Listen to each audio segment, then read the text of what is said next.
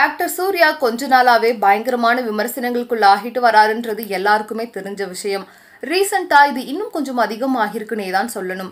நம்ம சூர்யா ஹீரோவா நடிச்சு சுதாகோங்கிற டைரக்ஷன்ல ஜிவி பிரகாஷ் இசையமைக்கிற படம் தான் சூரரை போற்று. இந்த ஒரு படத்துக்குனே ஃபேன்ஸ் எல்லார்கிட்ட இருந்தும் மிகப்பெரிய வரவேற்பு இருந்துச்சு.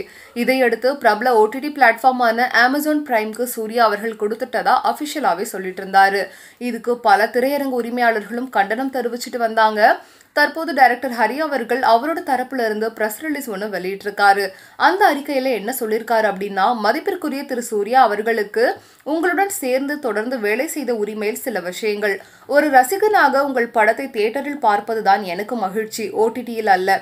நாம் சேர்ந்து செய்த படங்களுக்கு தியேட்டரில் ரசிகர்களால் கிடைத்த கைத்தட்டல்களால் தான் நாம் இந்த உயரத்தில் இருக்கிறோம்.